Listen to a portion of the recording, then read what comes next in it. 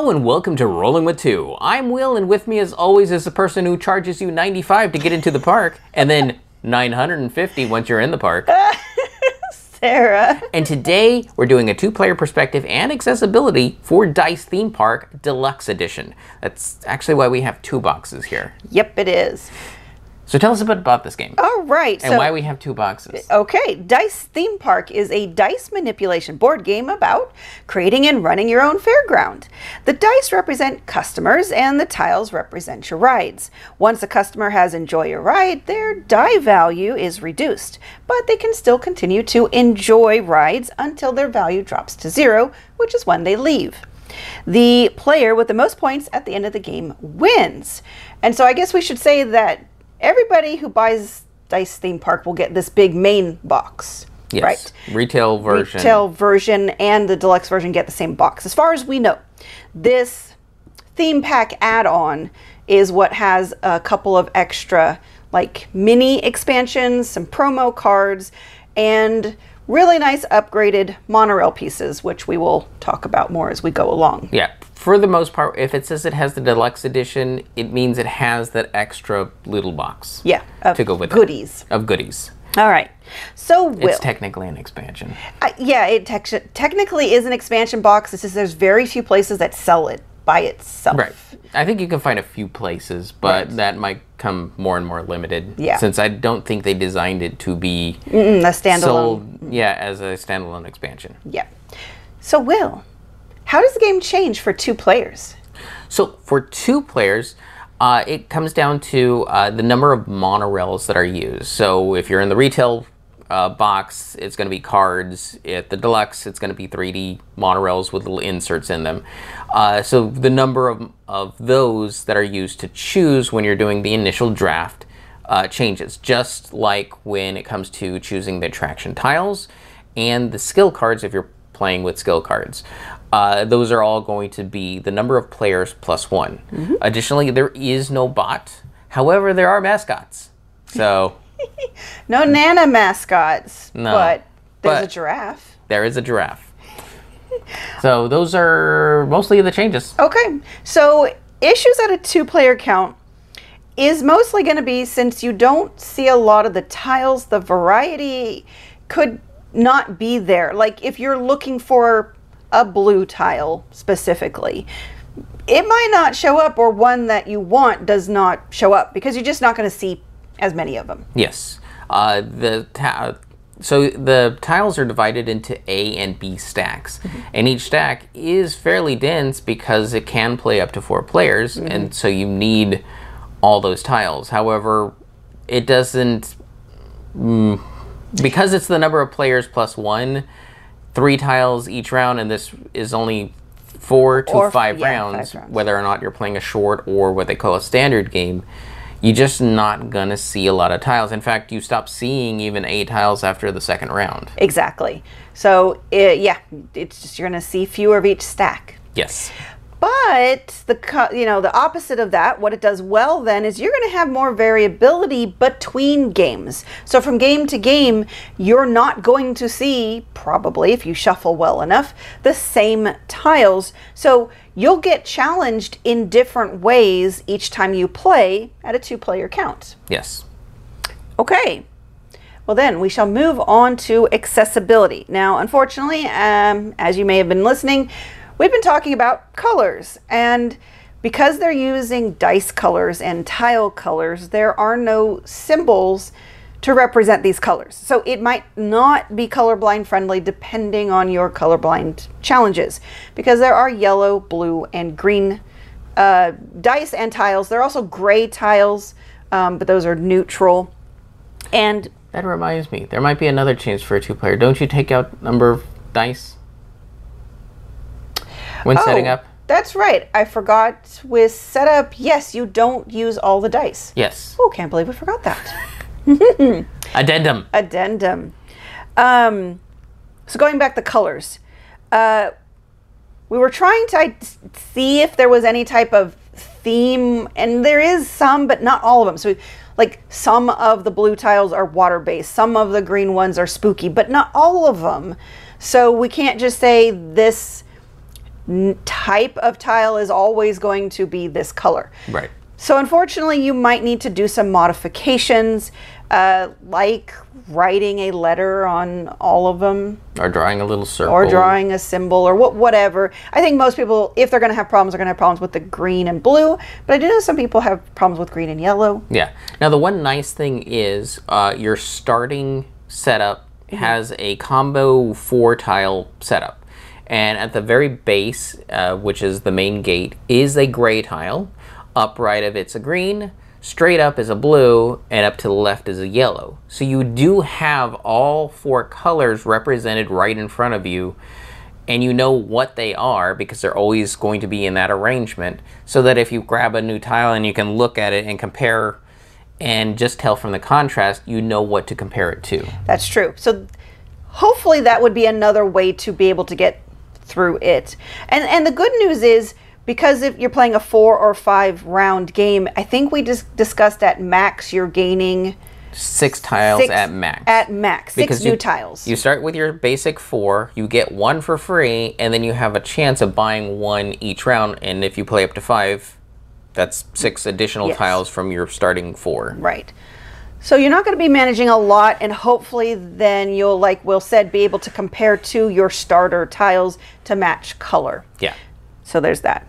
The other thing that's identified by color is there are gold cards for some of the rounds. Your first two rounds, you will never have uh, gold goals um, cards.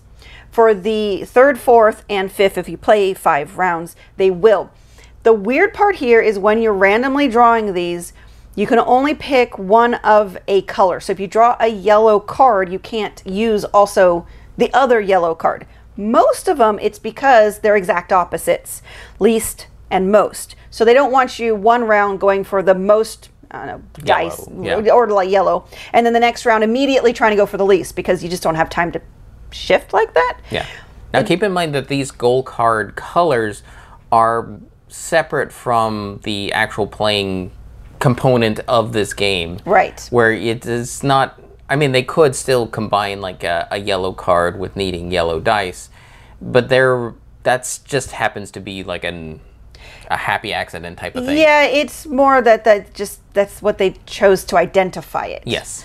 Um, this gets compounded when you have the deluxe edition because there are more gold cards. Yay! Except they pick some really poor colors. There's like wine or burgundy and purple, which can get easily confused with Red the card. red from the orig- from the base game. And themselves. Yeah, and themselves. wine. Plus, the, the the deluxe cards aren't always opposites. It, it's just more choices, and for whatever reason, the two choices they paired. They just don't want them to be in the same game at the same time. Yeah. Now that is more than what most games do, Yeah. where they think about it's like, well, if I'm telling the players to go for this goal, why would I tell them to go for something else that's pretty much contrary to that goal? Right. So they did put that extra thought in. Mm-hmm. It's just the identification of what those are. Right. It would have been so much easier if they had just written letters. So these are the two A's, these are the two B's, and just gone through the alphabet. Yeah. It would have been much more straightforward. And I've seen other games use that kind of identifier when dealing with cards. But unfortunately, here, they're color. So if you're having trouble with any colors, you might want to take a Sharpie and write these two are A, these two are B, so that it's easier when you're going to set up. You don't have to struggle. Is this the purple one? Because, like, when I was setting it up to take pictures, I put the purple and the wine burgundy cards together. I'm like, wait, why are there four of these? And then I had to look really close. Yeah, they're not the same color, but they're really close. So, yeah, that's not good.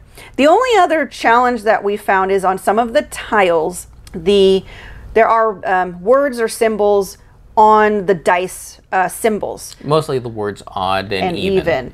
The words are written in white, but the dice colors on the symbols are pretty light. Like, um, uh, let's see, we got yellow, green, it's a light green, and gray is a light gray. The only one it has a good contrast with is the blue. So there you go on that one. But that's everything. So what it does well, most of the icons are really unique and easy to see, so you're not going to have any troubles once you get the basic concepts of the game down. Mm-hmm. And speaking of that, the rules are very comprehensive. Um, good breakdown of everything. If it's going over the staff cards, the next page, it's like, here's how every staff card works. So they put it in the section that it belongs in rather than just a addendum at the back, which is fine. That's Yeah. another way to, to organize it. Um, but, But, is but there's plenty of reference material if Yes. you just have no idea. I think they do that also for the tiles. Yes, the tiles and all the symbology is clearly laid out, and the back of the rules has a pretty good reference. It's there's a lot going on in the game, so it's not completely comprehensive, but it does help a lot. And there's a reference card that everybody gets. And then lastly, most of the game is open information, except your hand of staff cards is supposed to be kept secret. Um, the good news is they are um, what do you call it? Identified by number Yes. if you're having any issues there, you could look them up, I guess, in the book or, or whatever. If you're uh, Yeah, if you're just playing the base game, they're going to be the starting hand is going to be numbered one through 6 Uh, it'll actually be kind of uh, interesting because as you play those cards, those goes to the person on your left. So you may have duplicate numbers. They'll still operate the same. When you add in the deluxe, it adds in a Zero. essentially a zero because it has no number, and a seven because it's a one and a six together because they're represented by dice yeah, for their numbers, and then you'll like replace out the five. So at most, you'll have eight cards in your hand if you're playing with the deluxe. Mm-hmm. Uh, but all other instances, you have six cards Yeah. to look at. So and they don't change all that often. right. And once you learn what the cards do, because there's there's information on there, but it's not a lot of information. So um, Yeah. hopefully that's all good. Okay, I think we're good there. Conclusion. Okay, for two players, would you recommend? I think so. It's still it's a lot of fun, and the issues are just the flip side of the good things. So it's whether you like it, I guess. Yeah, uh, I had a great time with this. Uh, I think we've tried a different game that was also dice themed from Alley Cat, and like, eh, I wasn't too keen on this. This one had, I felt, had a lot of player agency. Yeah. and it played very well at two players. Yes. The and the points of player interaction was partly denial from mm-hmm. the drafting of cards and attractions and skills, but partly in the fact that the staff cards you play go to another person, so you're having a direct impact on what they can even do for their next turn, which worked very well for a two-player game. I think so too. It's very dynamic. yes. So accessibility. This is going to be mostly yes. It, it's really going to depend on if you have colorblind accessibility issues and what they are, and the length you're willing to go to modify it. As we discussed, you could choose either the blue or the green and replace one of them with translucent, and that would mean it would be a whole lot easier to identify those dice. But you'd still need to go through the tiles and in, make some sort of mark or indicator um, with someone who can see all the colors to make sure you're not mixing up the blue and the green. And you'll go through that if you're one that wants to feel fully, truly independent. Uh, or as I play it, I just ask Sarah, and it's like, hey, what is that color? Uh, and then just play from there. And I True. have no problems with that. That's the thing. It depends on the level of comfort you have with asking other people for help. Because with Will, he relies on me most of the time for most of the things that he can't see. So when we're going through and playing, I'm picking up all the tiles and just reading him everything, which includes telling him what the color is. And if he has something on his board he can't remember, I just say it too. So it's possible you can play this without modification because everything except your hand is secret. Just keep in mind that will add some time to your playtime Right. because that point of the game in which you're like operating your theme park is supposed to be a simultaneous play, which actually cuts down the Mm-hmm. game time for the majority of players. Right. So keep in mind that's the trade off there. Agreed. All right. And Sarah. Yes. When it came to all these attractions, was there anyone that you thought, ooh, that sounds fun? Um, maybe I think there was like the like what do you call it? The log river or something? Lazy river. Mhm. I'm not much for fast roller coasters or scary things, so I I've never been an, I've never been a big fan of the fairgrounds. This is this is how I experience going to fairs. What about you? I wanted the Shake Shack.